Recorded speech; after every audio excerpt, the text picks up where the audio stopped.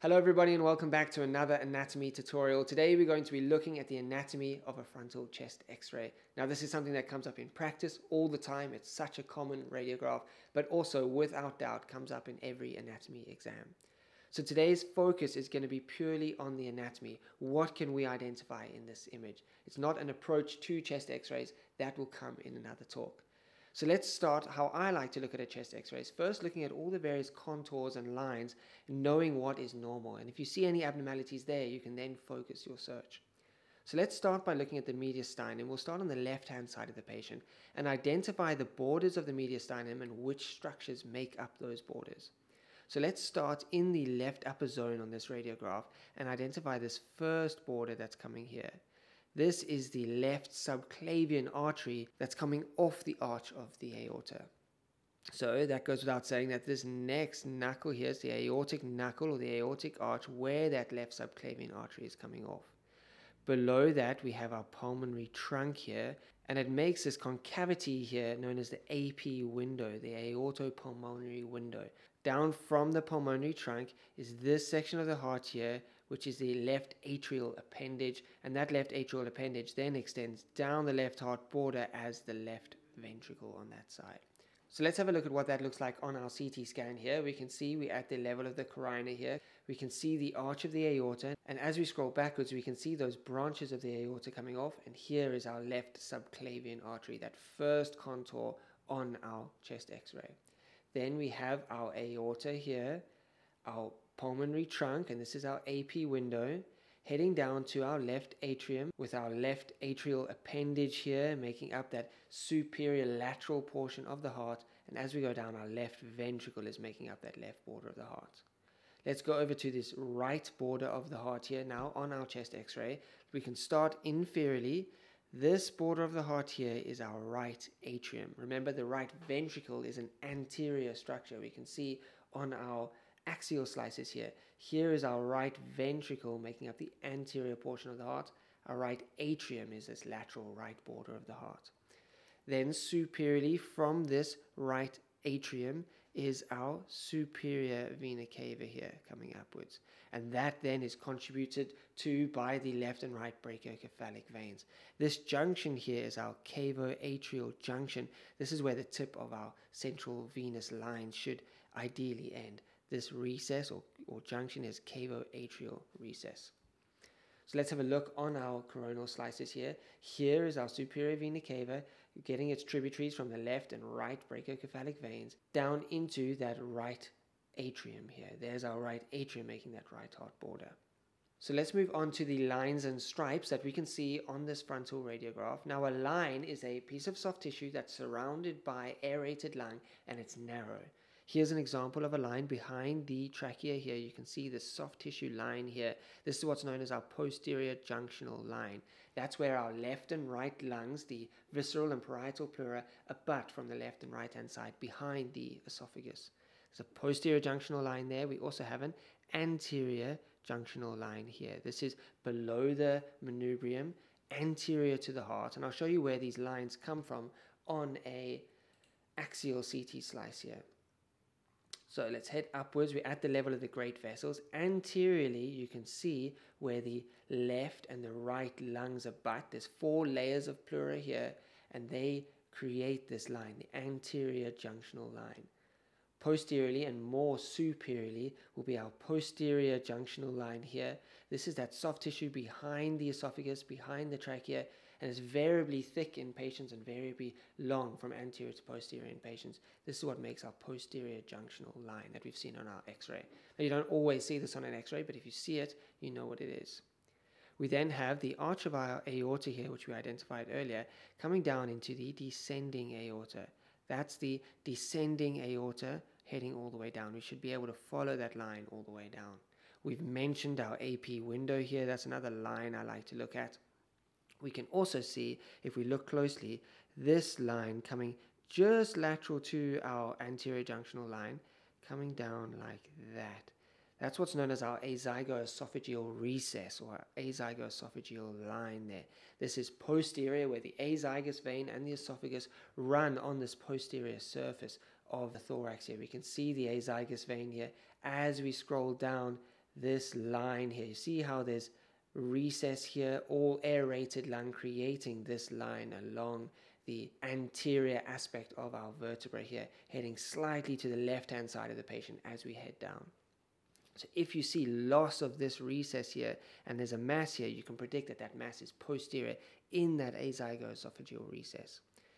We also have what's known as stripes. Those are lines, but thicker. So we've also got aeration on both sides. We've got lucency on both sides of a stripe. A good example of that is our left paratracheal stripe here. You can see this dense region here, lateral to our trachea, and our right paratracheal stripe here, where our great vessels are coming off from our brachiocephalic artery or from the arch of the aorta heading up our uh, common carotid arteries heading up through there, some soft tissue. And if we get widening of those lines, we can think of tumors like a Pancoast tumor on this side or enlarged lymph nodes. So it's really important to look at those stripes there. Other lines that we can identify are our paravertebral lines. Here's our right paravertebral line going along the vertebral bodies there on the right hand side. And we have a left paravertebral line, which often then continues along with that descending aortic line. So now we've looked at the lines, the lines of the mediastinum, as well as the lines of the midline here where our pleura are abutting at our posterior and anterior junctional lines, our paravertebral and paratracheal lines and stripes respectively. We can now move our attention to the airways, to the actual respiratory system. So the airways here, I'm going to actually draw them in green. We can see our trachea coming down centrally here, right down the middle, bifurcating into our right main bronchus, as well as our longer and more oblique left main bronchus heading out there. Our left main bronchus then divides into our left upper lobe bronchus and our left lower lobe bronchus on that side. The right hand side divides into our right upper lobe bronchus here and then our bronchus intermedius on this right hand side, which then will divide into our right middle and right lower lobe bronchi. Those are the major bronchi that we can see here. We can, if we look closely, see these end-on apical segments here of the superior lobes. And if you want to get more detail about the bronchopulmonary tree, I've got a full video looking at the CT scan of the bronchopulmonary tree and the various different segments of the tree. Now we can actually look on our CT scan here, follow this bronchopulmonary tree, our trachea coming down centrally, going into our right main bronchus, our longer left main bronchus. You can see if you aspirate standing upwards, gravity dependent, you're much more likely to aspirate into this right hand side with this more vertically orientated bronchus intermedius here. You can see our right upper lobe bronchus, our bronchus intermedius here, bifurcating into our middle and lower lobe bronchi. On the left hand side, here's our left upper lobe bronchus going down into our left lower lobe bronchus on that side. And if we were to scroll more anteriorly, we would see those end-on apical segments. See that there, we're cutting these lower order bronchi, the anterior segments of the apical lung here, and those are the ones that we can see end-on on our radiograph here. Now that we've looked at the airways, it's a good way now to move on to the hila. And I know people really struggle with the hila, so I'm going to spend a little bit of time here showing you how you can identify the main structures that make up both the right and the left hilum. Now, in order to understand the hila, what you really need to understand is the path of the pulmonary arteries. So I'm going to go to this axial slice and show you how the pulmonary arteries run in relation to the bronchi. So let's go up to the superior aspect of the heart here. We can see our ascending aorta here, our descending aorta here. See how the aortic arch comes round, ascending, descending. Here's our pulmonary trunk that we've identified on this frontal radiograph. And that pulmonary trunk separates into our right pulmonary artery and our left pulmonary artery. Now, our right pulmonary artery comes anterior to this right main bronchus, posterior to the superior vena cava, coming in front of that right main bronchus. So let's draw it in here. Here's our pulmonary trunk, and it extends on the right hand side anterior to this right main bronchus. Now that pulmonary artery will separate into two branches. It's got a truncus anterior, which heads medial to our right upper lobe bronchus, and it's got a right interlobar artery, this large artery that we can see extending down here, this dense structure going lateral to our bronchus intermedius. That is our interlobar artery, of our right pulmonary artery. So let's find that vessel here. As we scroll down, we should see our right pulmonary artery separating into our interlobar artery. I'll show you it might be better on this coronal side. Watch our pulmonary trunk here separate into our right pulmonary artery coming in front of that right main bronchus and giving off a superior branch, our truncus anterior, and an inferior branch here, which is our right bronchus intermedius. This makes up that inferior limb of our hilum, which I'll show you now. And you can see why it's so obvious on the chest x-ray because we've got a hollow structure medially and lucent lung laterally. And we can see this density here, our right interlobar artery. On that side, making up the superior limb of the hilum, is our superior pulmonary vein coming in this way. Our superior pulmonary vein comes posterior to these structures and drains into our left atrium here. Our left atrium is a posterior structure. This superior pulmonary vein drains behind these structures into our left atrium. You'll see here that this superior limb here makes up the superior angle of our hilum and this interlobar artery makes up the inferior limb of our hilum. This angle here is our hilar angle on the right. So let's have a look at those structures here. We can see our right interlobar artery laterally to that right upper lobe bronchus. We can see this structure here, this structure here, follow it down.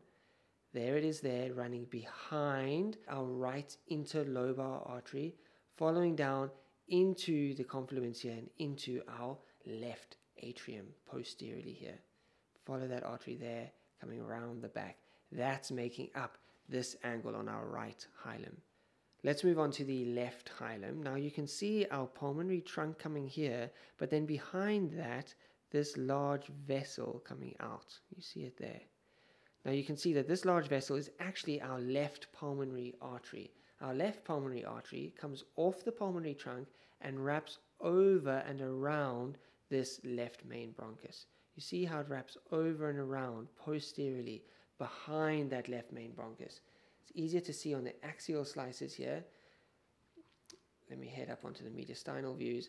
Here's our left pulmonary artery wrapping over and around this left main bronchus. You see how it jumps over the back and runs down, it jumps over the back of that left main bronchus there. So we can see that that left pulmonary artery has actually gone over this left main bronchus, and then it gives off two branches. Behind this left upper lobe bronchus, it gives off our left interlobar artery that we can see here, which makes up the inferior limb of our hilum and it gives off these variable superior lobe branches to the upper lobe of the lung. And this anatomy here is variable, and we don't have such a nice hilar angle like we can see on the right, but we can appreciate the angle that is formed here between our left interlobar artery and these superior branches to our left upper lobe. We also, on that side, have some density here that is a result of the left superior pulmonary vein that's also draining towards this left atrium behind the heart here. Now let's have a look on this side. We can see our left pulmonary artery jumps over that left main bronchus and gives off this left interlobar artery here.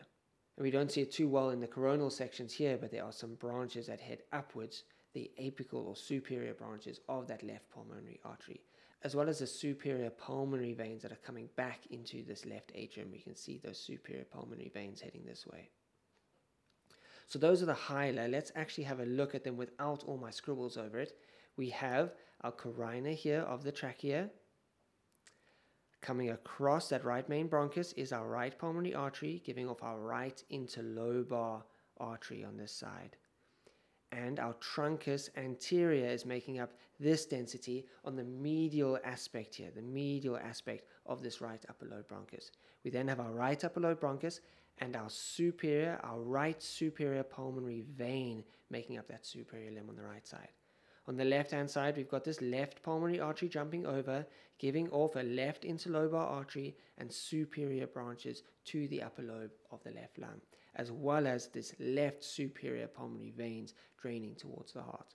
So I hope that this 3D representation on our CT scan allows us to visualize the hilum a bit better on our chest radiograph. And if this kind of learning helps you going through 3D anatomy and then looking at a radiograph, consider subscribing to the channel and liking the video. Let me know in the comments if you enjoy this style of teaching. Now let's move on from the hila and go to our lobes of the lungs. So we've done our bronchopulmonary tree. Now let's go out actually into the lung parenchyma. Now when we're looking at a chest radiograph, we often separate the lungs into zones, an upper zone, a middle zone, and a lower zone. But as we know, our right lung has three lobes and our left lung has two lobes. The point I want to get across is that our lower lobes actually start all the way up here on the right hand side about the level of T5, on the left hand side about the level of T4. Now if we look carefully on the right hand side, we can see a horizontal fissure here which separates the right upper lobe from the right middle lobe. And that extends anteriorly from about the fourth to sixth rib, posteriorly intersecting with the hilum on this side. And then joining that right oblique fissure that we're going to look at now. Let's go to our lateral view and see how those oblique fissures on both sides runs. If we were looking at the left lung, we have an oblique fissure that runs from the diaphragm here about 3 to 4 centimeters behind the sternum and heads up to about the level of T4. Now you can see how if you have a mass here and you were looking at a radiograph, a frontal radiograph, that mass could look like it's in the upper lobe. Then it becomes really important to look at our lines that we looked at and our mediastinal contours that we looked at and see if that silhouetting is happening with posterior structures. That separates our left upper lobe from our left lower lobe. And if this was the right hand side, our right upper lobe from our right lower lobe. The right oblique fissure actually comes from about one vertebra lower down. And then we get from the hilum extending to the fourth to sixth rib, our horizontal fissure separating our right upper lobe from our right middle lobe. So you can see how our left and right lower lobes start really high up. And when we look at a frontal radiograph, all the way up here could be in the lower lobes.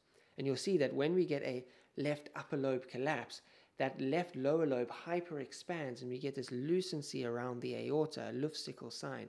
And that's an example of just how high up this left lower lobe comes.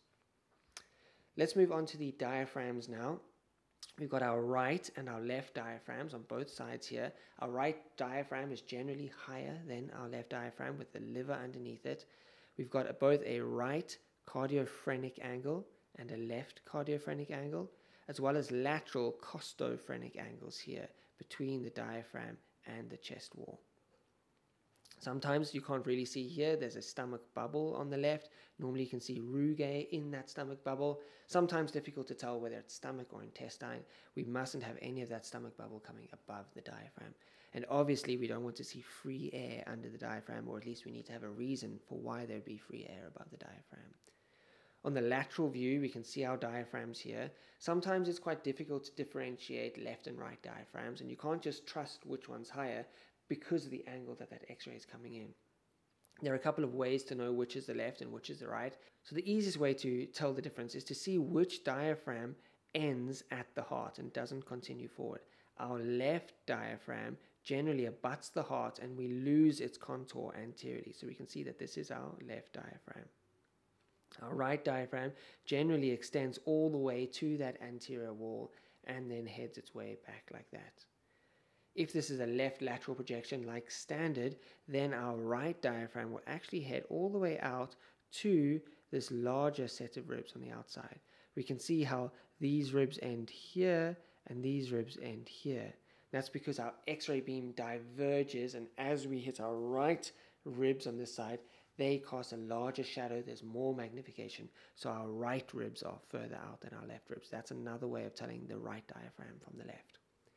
Now there are three holes within this diaphragm, one posteriorly here, which is our aortic opening of the diaphragm, our esophageal opening of the diaphragm, and our vena cava opening of the diaphragm. Here, our inferior vena cava comes through here, as well as branches of our right phrenic nerve, and that's at about the level of T8.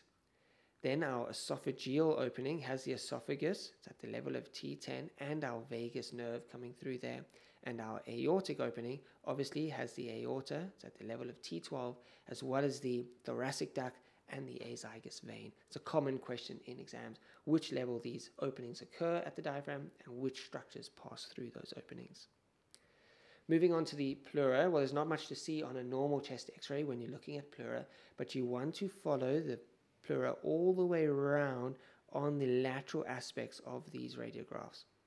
Again, if there's a pleural effusion, you can get blunting of this costophrenic angle, which is actually much more sensitive on our lateral view here, gravity dependent. This is the lowest part of the lung. We need much less fluid here to get blunting of that posterior costophrenic angle. But we can get blunting of these lateral costophrenic angles in a pleural effusion. You can also see pleural thickening when we get pleural plaques or pleural, pleural mets. And you mustn't get confused when you see a thickening like this here that's actually that medial border of our scapula. So you want to be careful that you actually are call, calling a pleural thickening. And obviously, if there's air in between the visceral and parietal pleuras, we can identify a pneumothorax, which is most common on these apical views if the patient is upright. Moving on to the bones, there's not just the ribs to look at. We need to understand that there's shoulders, clavicles, spine as well. So let's identify some of those bones. Let's start at the vertebral column. We can see our transverse processes here of T1, they angle superiorly like that. Our spinous process here, we can see our pedicles, those are the bones running from our vertebral bodies heading out towards the lamina and then to the spinous processes. You can see there our vertebral bodies. It's good to look at all the vertebral bodies, our intervertebral disc on that side, our clavicle here, our sternoclavicular joint. Follow that clavicle all the way out to the shoulder can see that we've actually collimated those shoulders off here, but if you could see the shoulders, you want to look at the humeral head, the glenohumeral joint, the humeral shaft itself.